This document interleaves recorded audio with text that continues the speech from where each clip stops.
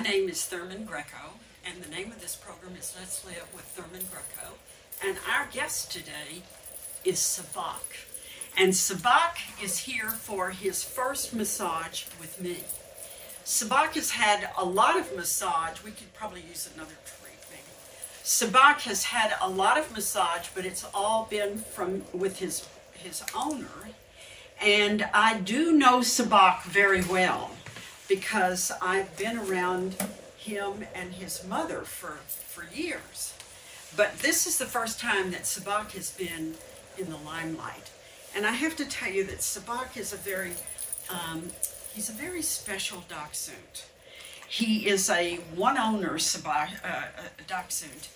And uh, his owner decided before she went out to find him that she needed to know all of the things that she needed to know in order to care for him perfectly. So Sabak has um, the best diet that she can find, which is a raw food diet. And, and you will see that with a raw food diet, he, he does have a very shiny coat. And uh, Sabak has uh, all of the things. He gets to go outside and he has a fenced in yard and he goes to little dog play group and and, you know, he does everything. But one thing that he's not getting right now is he's really not getting a weekly massage with his mother because um, we've always done the, the weekly massages at uh, the Little Dog Social Group. So now we're looking forward to having a lesson so that she can uh, review it on YouTube and give massage to Sabak uh, regularly so that he will not be uh, massage deprived.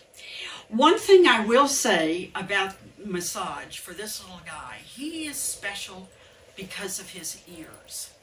His Sabak's ears, well, right now they're cold because it's the middle of the winter. We've been outside, but his ears have a lot of um, energetic points, and I this is very, very spiritual here.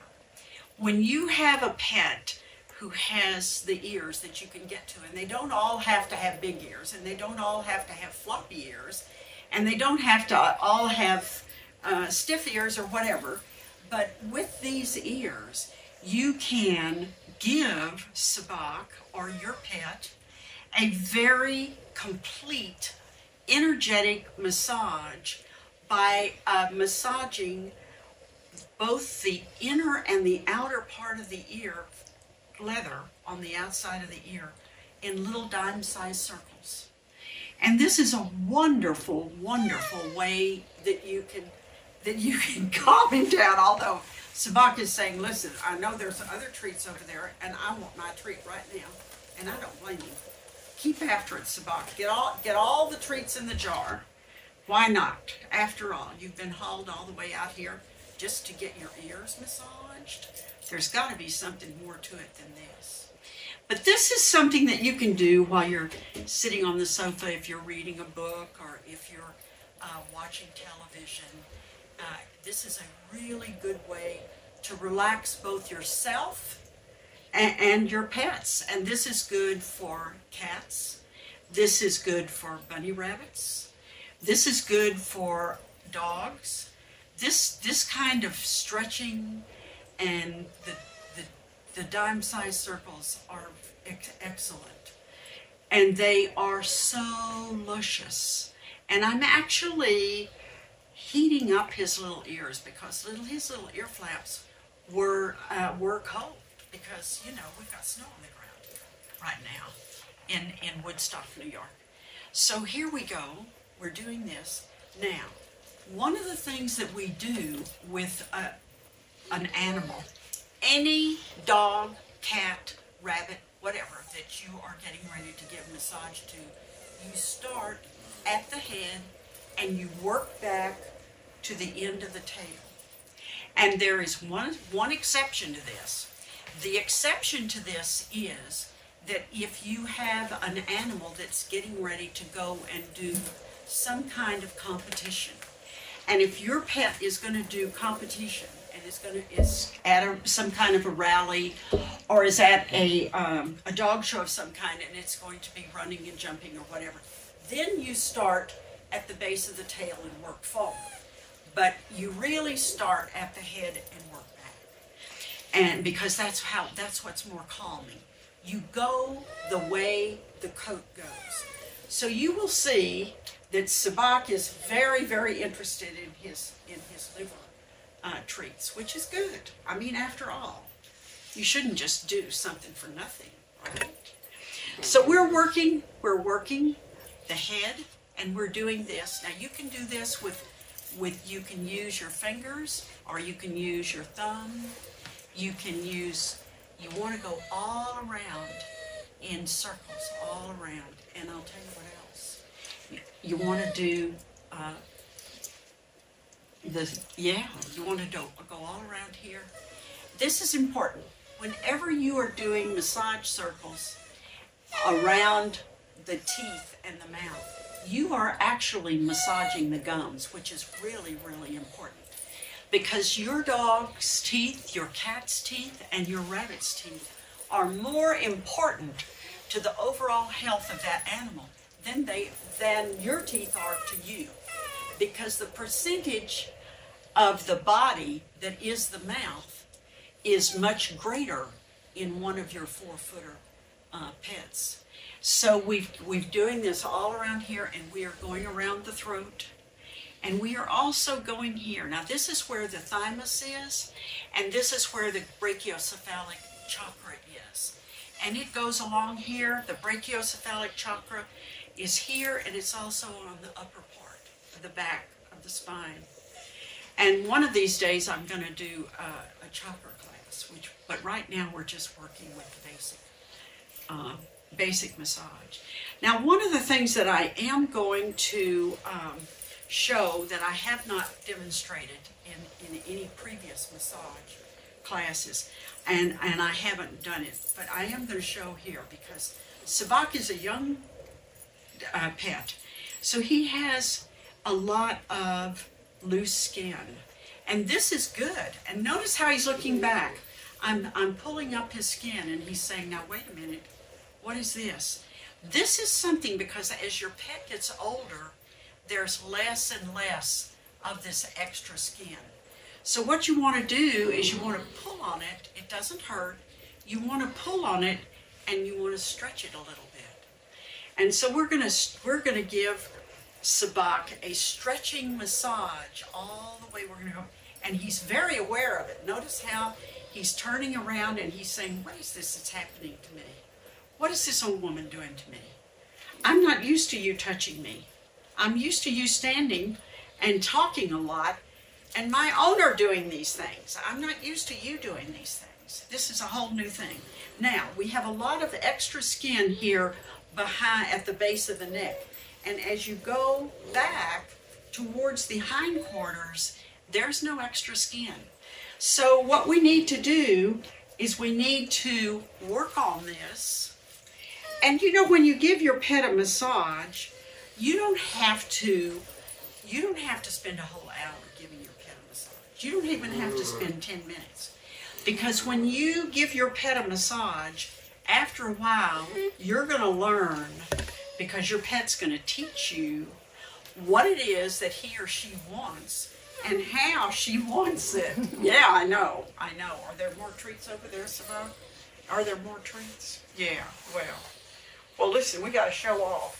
Let's make your needs known, Savon. Let's get some more of those liver treats. She makes um, these liver treats for Savon.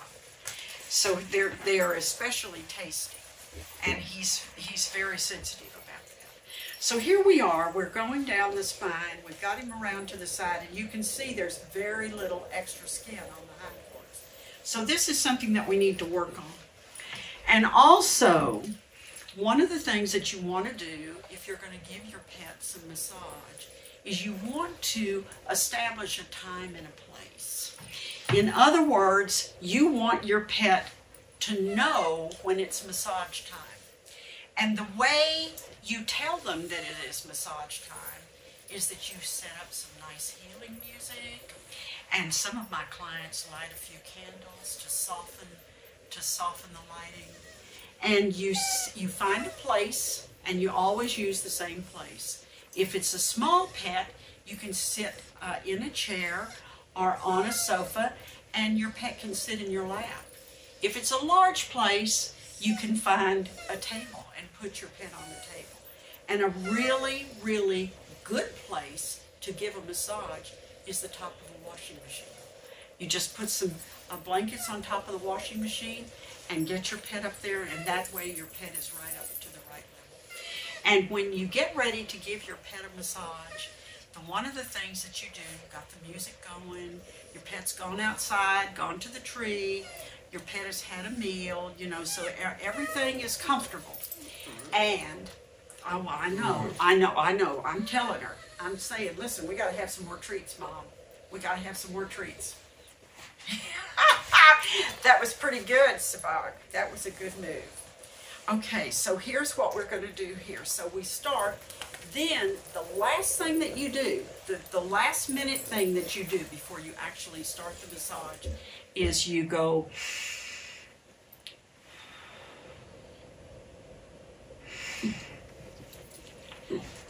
I know you want another treat.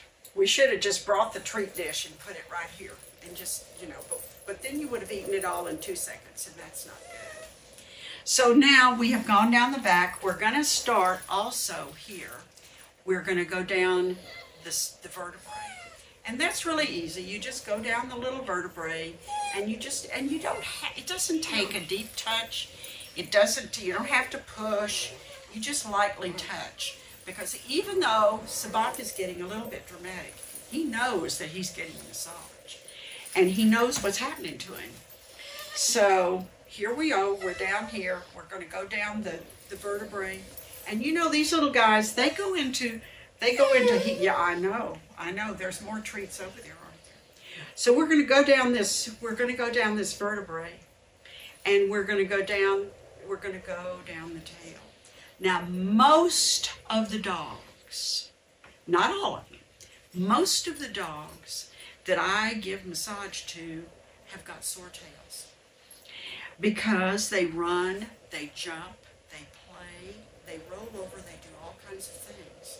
So Sabak is letting me uh, work on the tail, which is kind of unusual because a lot of dogs will not let me do that. They just won't let me do it. And that's because they don't want me fooling with their with their sore tail. So now we've gone down the spine. We've done the ears. You can do the ears separately. You can do all of these moves that I'm teaching you. You can do them all separately. And I've got Now, we've gone down the throat. We know we've gone down the throat. And we're going to do the shoulders. And you know what you do with the shoulders, and it doesn't matter whether it's a dachshund or a two-pound Pomeranian or Chihuahua or whatever, or a Rottweiler, it doesn't matter. You're going to do it the same way. You're going to quietly go with the palms of your fingers. You're going to just quietly go in circles. Now, I can tell you this right now, that there is some heat building here, which is really good. What that is telling me is that this heat is building because it's going into the tissues and it's moving blood around. So that means that we are actually healing this shoulder. And of course, Sabak has, has a sore shoulder. He's a dog, after all. Now we're going to go over here and we're going to do this other shoulder. Yeah, he says, oh, I know that there are not very many treats left. Uh, there are not very many treats left, but I'm being good.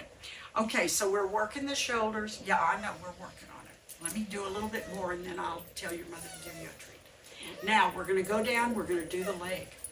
One of the things that happens with the legs is you want to offer, you want to give some massage to these legs because you want the blood to circulate on the legs. Yeah, I know, I know, I know.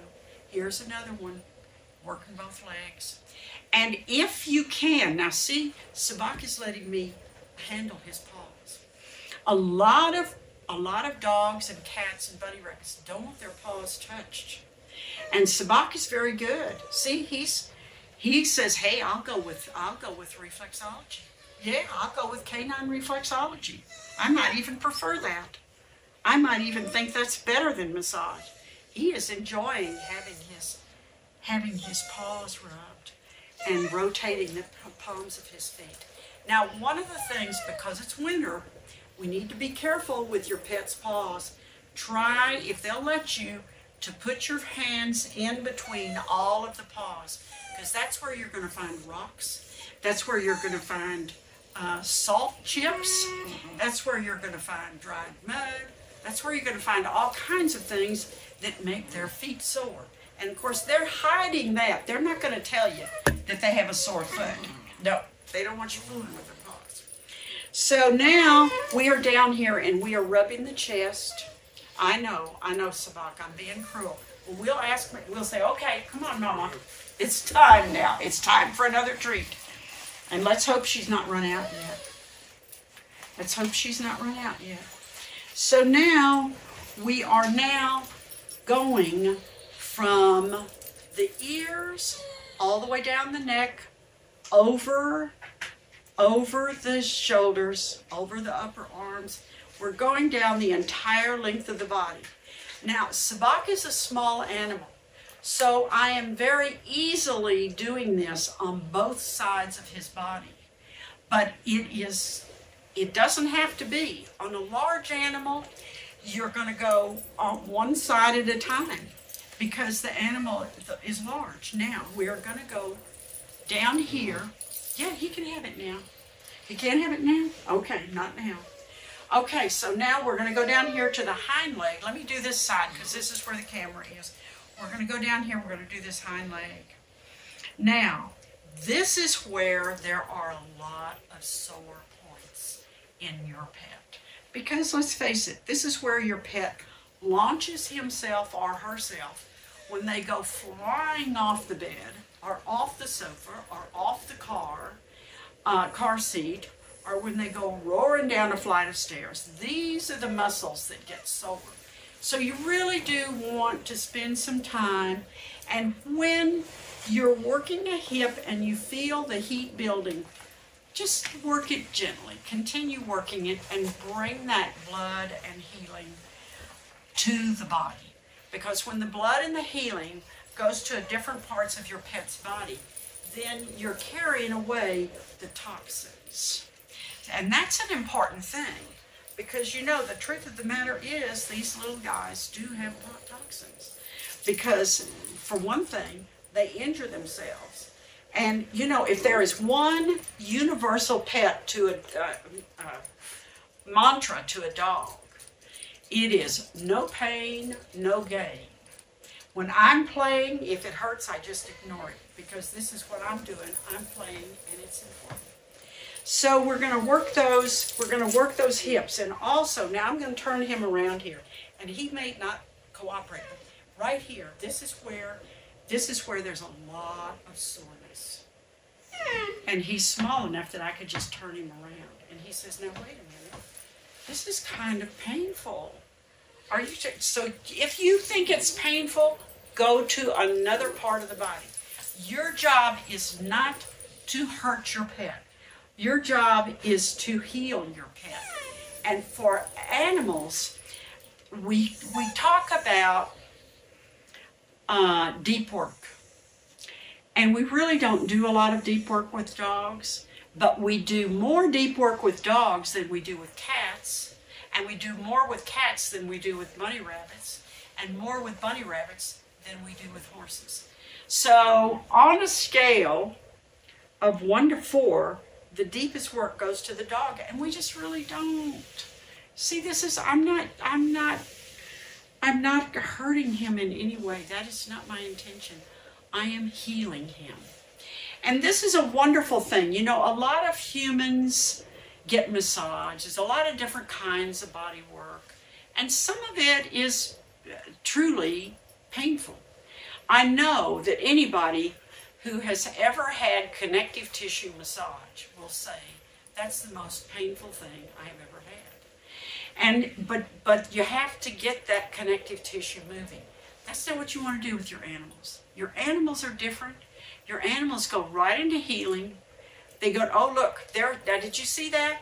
He that was he's kind of releasing tension. He's saying, I'm kind of stressed out. I'm going to calm myself down, so I'm going to yawn.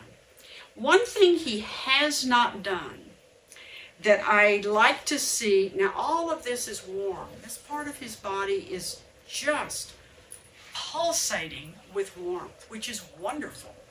So I'm going to recommend that after his massage that he get water, you know, a lot of water for the rest of the day because um, this is to release, this is to get the toxins washed out of his body because we are releasing a lot of toxins.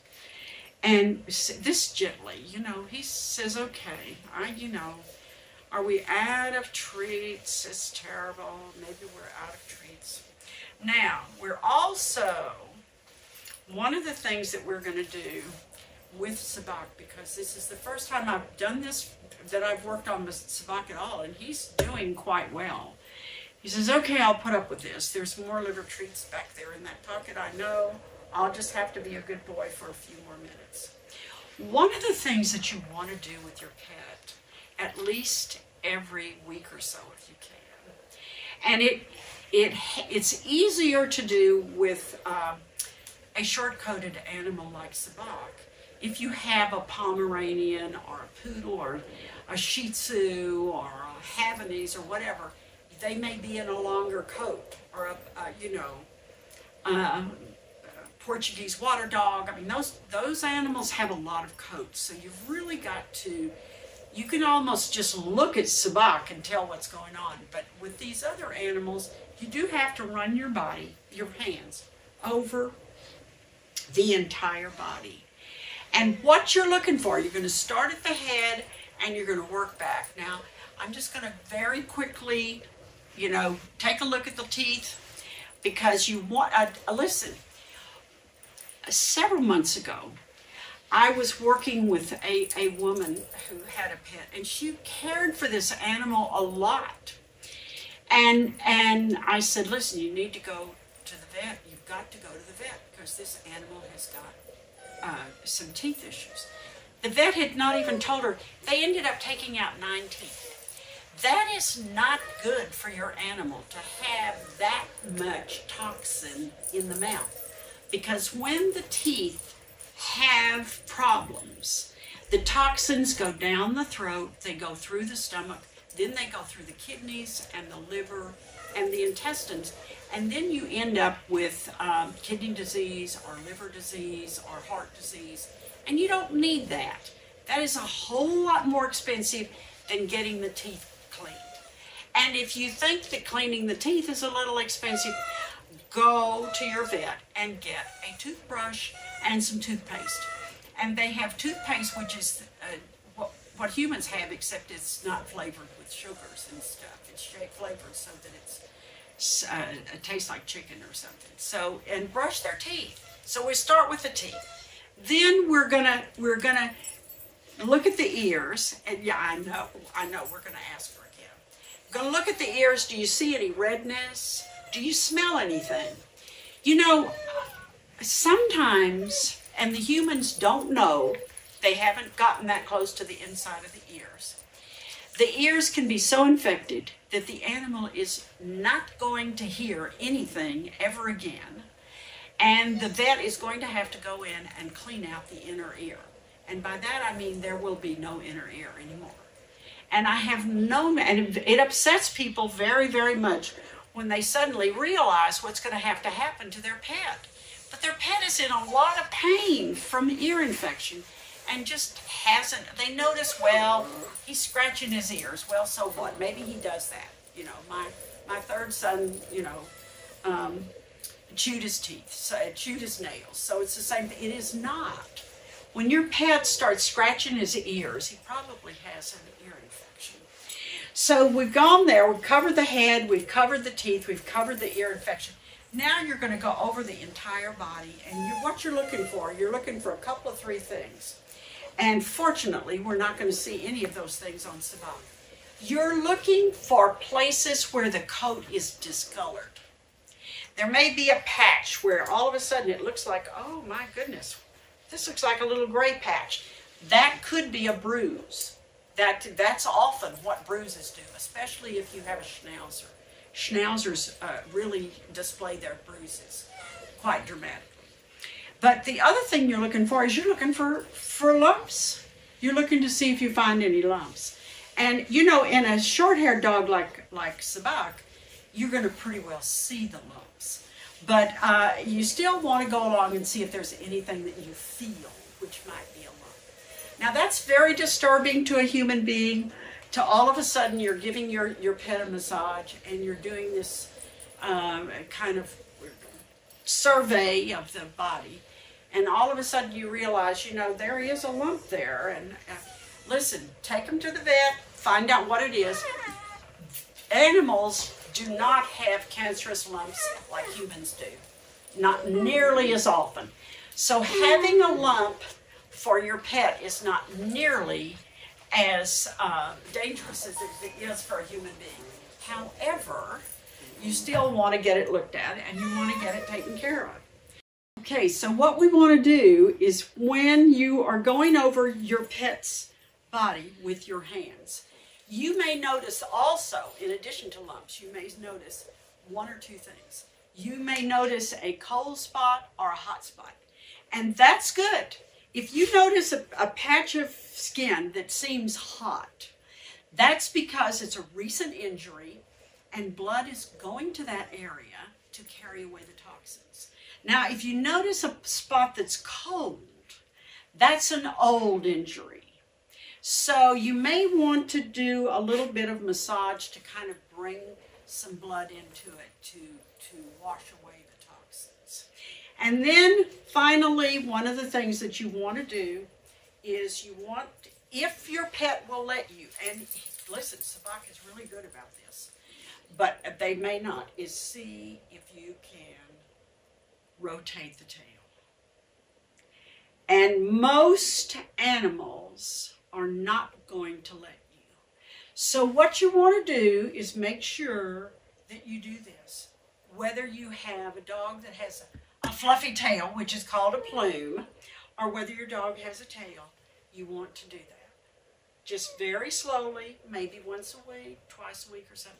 Try to try to uh, because that's you know you want the, the tail needs to be um, it needs to be healthy i mean that's a, an important part of your animal is the tail and then you want to tell your animal sabak it was a wonderful massage you came through your first massage with me with flying colors and i loved having you as a guest on my table and I hope we'll get to have you back again. And thank you very, very much. Be sure and watch the other canine massage therapy demonstrations because that's how you're going to learn. And eventually we're going to have some animals that are here for their second and third massage because after they've had their first massage, they calm down quite a bit. So, once again, thank you very much. Let's live with Thurman Greco.